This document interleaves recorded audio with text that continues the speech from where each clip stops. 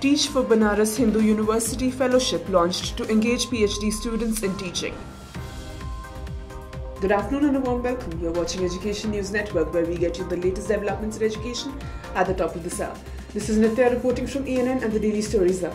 Banaras Hindu University has launched a special scheme titled Teach for BHU for its PhD students which will help them enhance their skills to excel in professional life.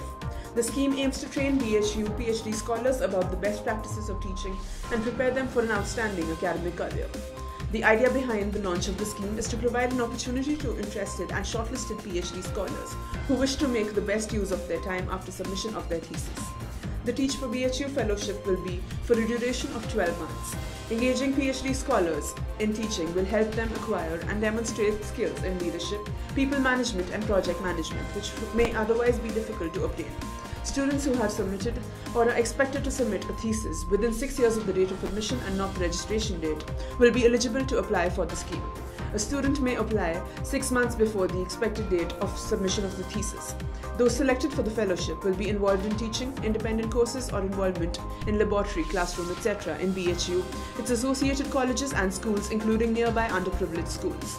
A candidate selected under the TFB will receive a fellowship of Rs 40,000 per month and Rs 6,000 HRA over the 12 month period of engagement. That's all for today. Thank you for watching Education News Network. For more such videos, do log on to our website, theenn.com, and don't forget to like, share, comment, and subscribe.